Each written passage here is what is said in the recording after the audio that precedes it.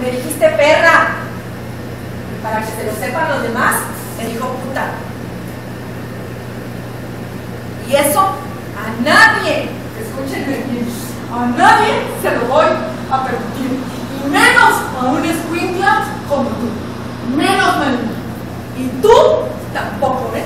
Grábatelo bien. Esto va a llegar hasta las últimas consecuencias.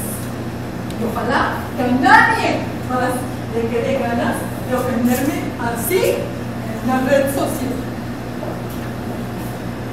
La clase ha terminado. Gracias por